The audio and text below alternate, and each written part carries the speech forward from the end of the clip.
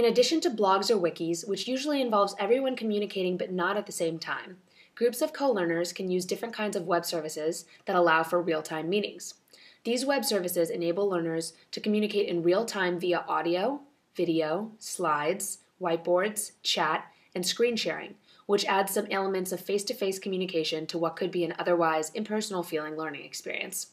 This article includes resources for finding and evaluating appropriate free and paid platforms, as well as tips on the activities that can nurture participation in real time meetings.